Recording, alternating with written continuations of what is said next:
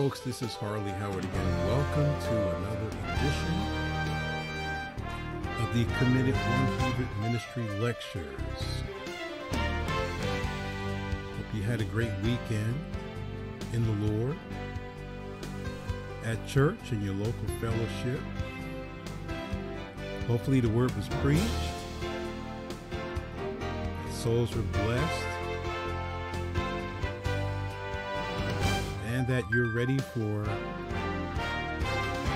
another week of spiritual instruction from this ministry. This is the 27th lecture on the biblical church. And one of the aspects of the biblical church that is often ignored is the connection between the church and the home. I don't know how in the world that can be ignored because they both are so integral, such an integral part in the life of the believer. So I don't make that distinction that the home life is separate from the church life, is separate from the job, is separate from whatever. No, they're all part of the integration within the Christian life. And so we're looking at the woman of virtue in Proverbs 31. Um, oftentimes, when I've taught Proverbs 31 in the past, I've got the proverbial side eye from many women. It's usually the time when women sit and seethe and scowl because they um, make assumptions about themselves that frankly are not true. And since I'm not biased in regards to who I'm preaching to, um, if sisters are actually wanting to grow and to, to learn, um, there should be um, a joy associated with these teachings. And there should be an immediate repentance if need be, and there should be a desire to be all that God wants her to be. But of course, we always have to remember that the study of doctrine and theology require careful thinking and mental discipline, and that's why most Christians avoid them. And that applies to every truth, even the ones that we are prone to uh, to ignore. So, with that in mind, Proverbs 31 Who can find a virtuous woman? We're going to look at some points to ponder here. Number one, let us be careful not to forget that the instructions given, as well as the description of this virtuous woman, are all from a woman, from a mother of wisdom. And that's an interesting point because usually people are under the wrong impression that um, the virtuous woman was written by a man. No, it was written by a woman. And I would assume that since it was written by a woman, um, that you would understand that she has perfect insight into that from which she speaks. So that's very important. She's pleading with her son, as we saw last time, not to get involved with worthless women and drunkenness, but to find a woman of virtue, a woman worthy to marry. Um, unfortunately, uh, a man will run to physical beauty infinitely quicker than for character any day. And there's no doubt about it in this culture by any stretch of the imagination. Uh, no one knows a woman better than a woman. And so, since this again was written um, by a mother, um, a woman of wisdom, then the instructions that she gives should be should be heeded. Um, beauty and physical attractiveness and physical attributes, um, the way she walks, the way she talks, the way she flashes those eyes, that million dollar smile. Um, the fact of the matter is, all those things are absolutely meaningless as far as virtue is concerned. In fact, those are the characteristics of vanity and deceit. And men sell themselves short when they refuse to find a woman of character. Let me say this um, the Bible says, Who can find a virtuous woman? It didn't say that a virtuous woman is putting herself out in the public, flirty and throwing all kinds of hints and trying to get attention to herself. That's not a virtuous woman. Uh, that's a woman who's looking for trouble. Um, in fact, that's more of a woman. You look at that description of a woman in the book of Proverbs who's always trying to get attention to herself, and she's not the kind of woman uh, that uh, the Bible describes in any kind of praiseworthy way. Um, so let's keep that in mind.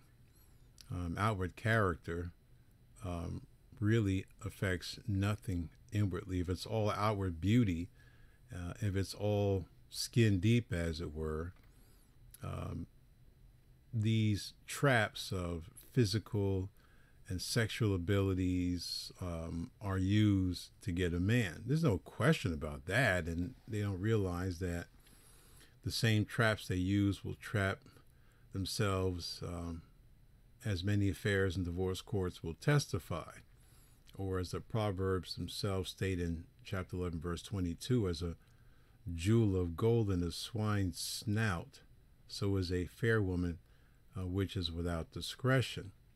So the, the question again is who can find a virtuous woman? Really?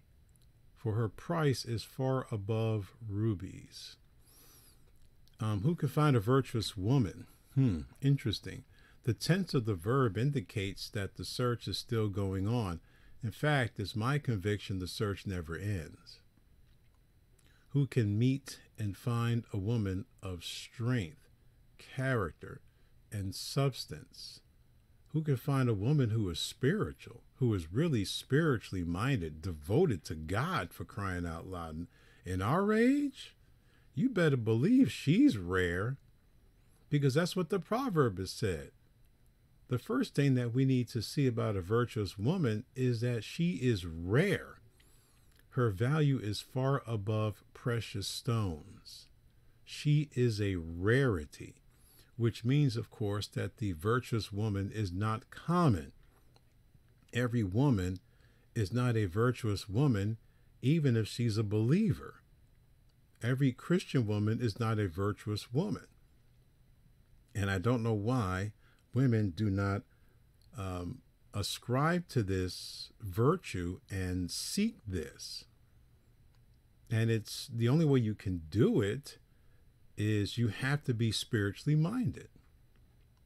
Um, I've seen women of virtue um, growing up. They weren't spiritual women, but when you look at the characteristics of how they conducted their lives and their devotion to their husbands and families, that's a virtue because it, like the proverbist describes here, is a rarity.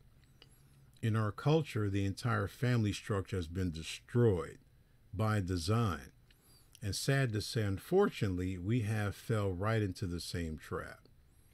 Uh, we failed to realize that the bombardment of visual and audio and uh, printed stimuli is designed to cause us to adapt the view about about the scriptures primarily about God's order of things um, to adapt a view which is the exact opposite. And now the women is being exalted again. The men are are dogs. All men are pigs. All men are dogs. Women are everything. Children are an afterthought. We can kill them. We can do what we want with them. We don't care. And this is the culture that many young ladies are raised in. You know, when I was born in the 50s, you had a, a far different culture than you have now with, with uh, young boys, young girls growing up uh, in, you know, 21st century culture is far different. Um, but the Bible's the Bible. The Bible doesn't change according to the culture. And we still need to raise these kinds of young men and young women. And that begins in the home, which means the home life has to be tight. So again, a virtuous woman is rare. She's not common, she's rare. As rare as precious stones, as rare as could possibly be. So all women are not virtuous women, although all women who claim to be worshipers of God need to strive towards that end. Um, so again, this isn't something that um, that is just seen in Proverbs 31. Uh, not at all. There are other passages which teach the same thing. For example, Proverbs 12 4. A virtuous woman is a crown to her husband, but she that maketh ashamed is as rottenness in his bones. In other words, the proverb is saying here the woman that brings shame or disgrace because of her disgraceful behavior and her attitude is as a rotten piece of worm ridden wood. And you know, the worm ridden wood is of no value. The shameful wife strikes terror throughout the entire body of the husband because of how she acts, what she says, and her attitude. And she's busy tearing down her husband both privately and publicly. She rips him apart by her words, her attitude, until he's ashamed to even be seen with her. Her refusal to be virtuous becomes that which eats away at the very soul of her husband, which is really horrible. And this goes on, sad to say, in a lot of professing believers' homes. I keep getting uh, messages from good young men who are pursuing either ministry or part of ministry or just want to have a happy home. They they have a desire to do things for God. And this is this has been going on for decades now and the wives are well let's just say it they're anything but virtuous and they destroy the very soul of her husband it's a sad thing to watch a man young or old, but a young man in particular who aspires to be uh, what he wants to be for God, and then to watch the very essence of his life get sucked out by ignorant, loud, um, blathering, sour attitude wife. It's a shame because she's self centered. We're going to see that the virtuous woman is husband centered. She makes sure that she understands the priority of her life is not extended family, it's not her girlfriends, it's not the job, it's her husband. And so if you see a woman claiming to be virtuous, and yet the husband is not the priority of her life, she's not virtuous. She's deceived there are a lot more reasons for men leaving their wives and leaving their marriages than money or immorality. Oftentimes, the wife's words, attitude, and actions are never seen in the light of the scriptures. Thus, they are never dealt with truthfully, and the real problem continues to persist until the marriage is toast. Um, and some just live under the same roof uh, with their mate.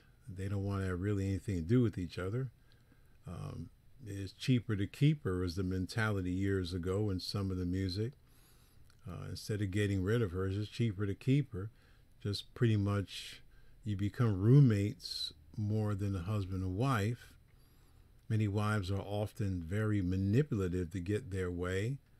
In the process of getting their way, they destroy their husband's dignity, manhood, leadership before their children, if they have any, and in essence, you just tear your husband out, tear, tear him down, tear him, tear him apart.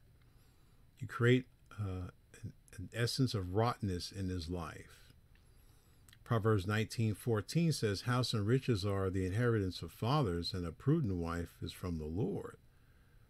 Um, the virtuous woman is out there. You just have to know what you want and to to be in prayer about it. You're not going to find a virtuous woman in a pub, a nightclub, a strip joint, at work. It's just and many you're not going to find most of them at church.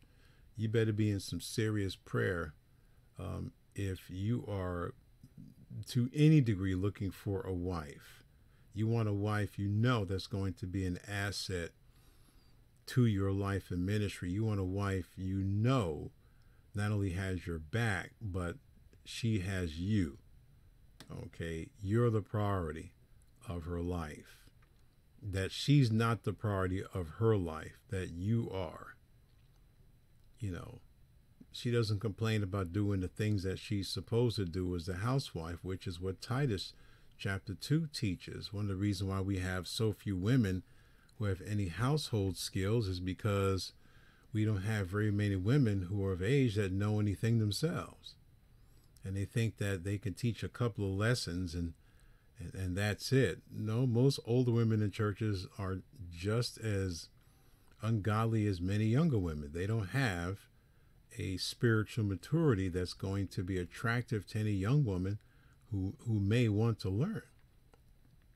A woman of wisdom and virtue that is from the Lord, um, because that woman will fulfill God's plan for marriage. Um, if you want to look at an example of virtue, just look at Ruth's example. I'm going to read chapter 3. I have it posted already up here for you, verses 9 through 11 and three of the very significant lessons that her example teaches us about being virtuous. Number one, look at verse 9. And he said, Who art thou? And she answered, I am Ruth, thine handmaid. Spread therefore thy skirt over thy handmaid, for thou art a near kinsman. And he said, Blessed be thou the Lord, my daughter, for thou hast showed more kindness in the latter end than at the beginning, inasmuch as thou followest not young men, whether poor or rich. And now, my daughter, fear not. I will do to thee all that thou requirest, for all the city of my people doth know that thou art a virtuous woman. Hmm. Interesting. Let's take a look at these lessons. Number one, she's a servant if you look at her lifestyle, you see that she is a servant. She, she's not a servant with a motive. She's a servant from the heart. You don't have to tell her to serve. This is something that she is. That's why she's rare. That's why the book of Ruth is so small because she's rare. It's just not a common thing to find this kind of a woman.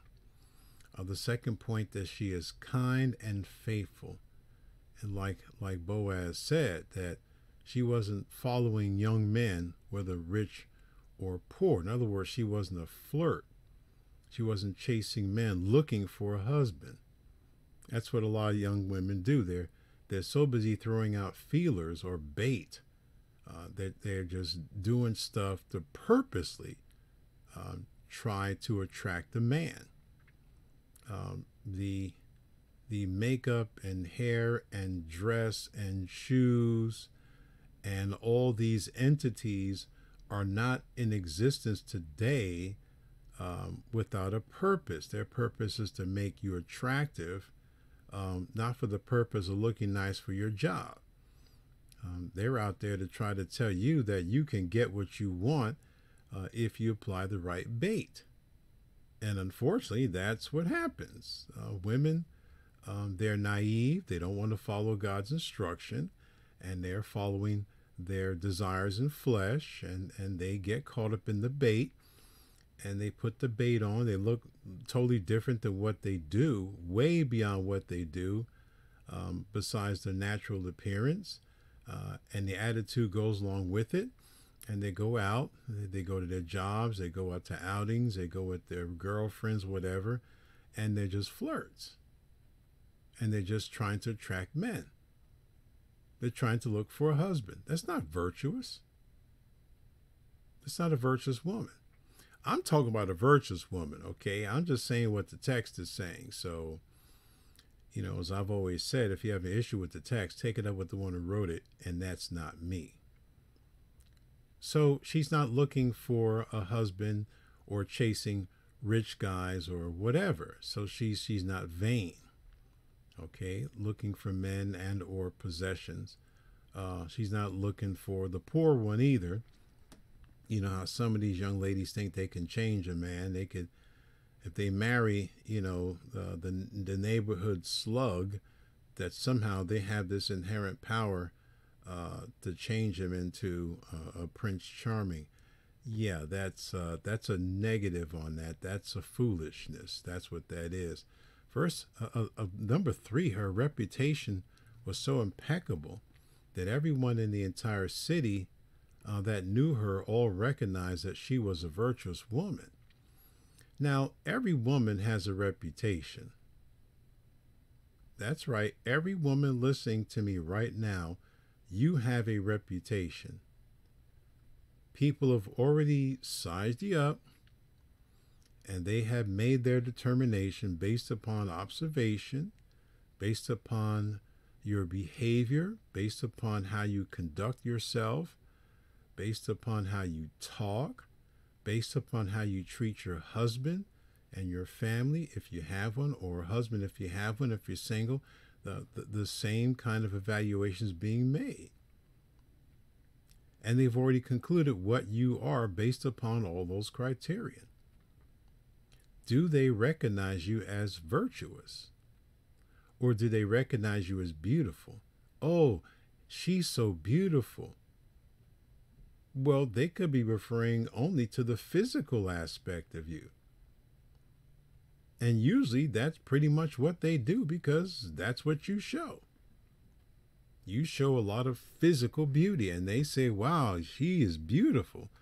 And that's true outwardly, but do they see you as a woman of virtue? That's the issue. Do they see you as someone who is committed to your husband, committed to your family? Because these are the things that are exactly opposite of our culture. Back to Proverbs 31 11. The heart of a husband doth safely trust in her, so that he shall have no need of spoil. What does that mean? Well, he completely trusts in his wife. He doesn't worry about having any fears that she's going to destroy the home financially. You know, um, she's a manager of the, of the home. That's her responsibility. She's a, a home manager. Uh, she knows how to shop. Um, she works with her husband. She doesn't just arbitrarily go and do things without notifying her head. Now that that's not popular in our culture, and again, this isn't the issue of popularity. I don't care about popularity, and you should neither. Again, you, you need to stop being bombarded with all this junk that keeps trying to tell you God's plan is not the best plan. She's a true helpmeet. She is a help that is fitting for him. She does not waste the hard earned income that is brought into the house. There's no need to tell others that your husband does not trust you. Okay, you don't need to go around telling people, I, I don't trust my husband. I don't know if I can trust my husband. Uh, here's a better question. Okay, can he trust you? That's the better question. You know, you want to get with your sisters or your relatives and badmouth your husband, tell you how much, tell them how much you don't trust him, how bad he is, and how this or that. The issue is, can he trust you? Because the verse clearly says, the heart of her husband doth safely trust in her. Do you know if your husband from his heart trusts you? Can he trust you? The the burden of proof is on you. Okay, based upon your lifestyle? And that's the question that needs to be asked and answered. Uh, does he trust you? Um, a virtuous woman is one who can't be trusted. Um, verse 12. Let me see how much time I got. Enough time. Verse 12 is very interesting as well. She will do him good and not evil all the days of her life. In other words, she is an asset to her husband. Let me just say this right from the start, and I'll repeat it again. Uh, the fact is that her number one goal in her household is her husband. She understands the, the lordship submission principle. She doesn't put her children first, she puts her husband first. Because clearly the text is absolutely clear in Old and New Testament regarding marriage that the wife's number one goal in her household is her husband. she is an asset to her husband. She's not a liability. The words good and evil could mean agreeable and not disagreeable. She does not make it her aim to be a disagreeable influence in her husband's life. Her goal in life is to do her husband good all the days of her existence. Yeah, this is a rare find. You don't find this kind of woman nowadays. She's very rare. And I'll say it again don't ask your husband, Are you a virtuous woman? Because if you have to ask the question, the answer is no. You already know whether you're one or not because you can read the Proverbs, you can read Ruth. So let's stop being like we're children. You know exactly what you are, and you know exactly what you aren't. You don't have to ask anybody. You need to be asking the Lord by way of reading the text. Are you doing your husband good all the days of, of your life? Excuse me, of your life. He's your priority. Are you doing that? Because if you're not doing it, it doesn't matter what others say or what you want to find out. Is that your goal in life? Is that your goal in life? is to understand that your number one objective in your home is your husband. Is there any question about this? The goodness that a husband experiences in this life can be directly attributed to the virtue of his wife. I don't care what TV shows. I mean, what TV shows and reveals has nothing to do with Scripture. The issue is are we more inclined to believe television or the movies or the printed page or whatever other than what the Bible says? She enhances his life. She's supportive and encouraging to her husband all the days of her living. You can't do that if your husband is not your devotion. There are very few women that are devoted to their husbands. Very few. They put their family first, they put their friends first, and they put themselves first before the other two just mentioned. And she knows it. The minute the husband says something, and she starts getting all flabbergasted and crazy about it. Well, that's the answer. He's not her goal. She's her goal. Others are her goal. Other things are her goal. And the husband is left pretty much to just fend for himself. You want to ask the question about virtue? You don't need to ask it at all.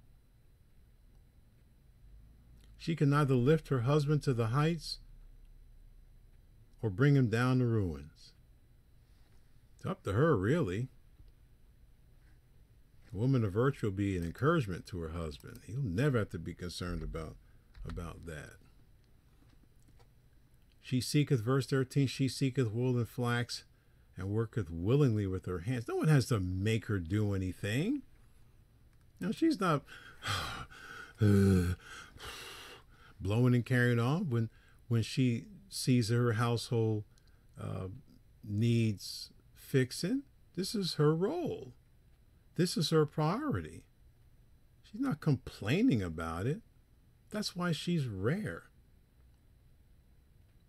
She's rare because very few women, very few women, have this desire. She takes delight in working with her hands. In other words, she's not lazy. She enjoys making clothes for her family. I'll look at verse 14 because we're going to be out of time verse 14 she's like the merchant ships she bringeth her food from afar as a merchant ship brings trade from other countries she is a good shopper shrewd a wise businesswoman bringing many unusual and different things to enhance her home. Brethren you don't want a woman who you have to waste time raising. You want a woman with some common and industrial sense. You don't have time to be a husband and raise a wife. You don't have time for that. That's what you do with children. You don't have time to raise a wife. You married some pretty girl and she's got about as much sense as a brick. You don't have time for that. You have to search for the best that God has to offer you. And that best is a virtuous woman. They're out there, but they're rare. It has nothing to do with the height of her skirt, the thickness of her legs, the beauty of her butt, and all that junk, and her assets and all this stuff that's being promoted and, and sought after by flesh. She has no character. Can't cook, can't clean, don't want to. Um, and you're never going to be her priority because the priority is going to be her because she wants to be with you to make sure that you give her the things that she wants to keep enhancing her. Real talk. Real talk. So handle it. And we're not done yet. Because this is something that uh, oftentimes um, is ignored. In, in this world now, where you have a matriarchal society, where in times past the you had a patriarchal society where the, the man was the focus, was the head. Now women are rising up, they're taking over everything, and this is this is ridiculous. And that influence is being just promoted, and men are being pummeled into nothing they're being made to feel and look as though that there are they are as guilty as the liars say that they are. I don't listen to them for one second as far as believing that rubbish. But unfortunately, uh, whoever controls the media controls the narrative, and whoever controls the narrative controls the thinking. Well, if you want to keep listening to the lie, there's nothing I could do about it. There's nothing anybody could do about it. Because no matter what I tell you, it's not going to matter anyway. And whatever God's telling you, you don't care. So if you want to keep being what you are and never grow, go for it. You really want to be what God wants you to be, because down the road, when it comes to having to teach another young woman or young women the responsibilities of virtue, you can only do that if you were a virtuous woman then you could teach with conviction. Then you can teach with believability. Because trust me, young women are watching you and they're imitating you. What kind of a an example are you showing them? Not telling them. What are you showing them? Are are they like you? Do you see yourself in your daughters? Do you see yourself and you go, I don't think I like that? Well, you're the one doing it. There's nobody else but you. Yeah, it's a tough pill to swallow because it's Women's Day in the world. The woman is, she's roaring up a storm and every man's a pig and what have you. Whatever. Keep destroying your home. Keep ruining your life. I was reading an article just before I um, went on air that uh, young women now are are standing up against transgender men, women all win, winning all the the track and field competition. Well, that's what you get for believing and adapting and tolerating foolishness. If you keep tolerating it, you you're gonna realize that you know what that freak ain't no woman. Well, you should have known that already because your your brain should be working. But if you're going to try to erase all gender, and then create all these gender neutral nonsense other than a man or woman, what do you expect to happen? And all that is designed against God primarily. And sad to say that uh, many people, even in the, the alleged church, are falling for and believing the same lie. Well, I think that's it for me today, friends. I think we uh, pretty much have exhausted the time and I think I said enough as far as what needs to be said uh, in this regard. Tomorrow, of course, is spiritual discernment. Uh, and we're going to be talking about, again, the mind before and after the fall. Same time tomorrow, 10 o'clock, Pacific Standard Time. And uh, until then, May God richly bless you and may God keep you, is my prayer.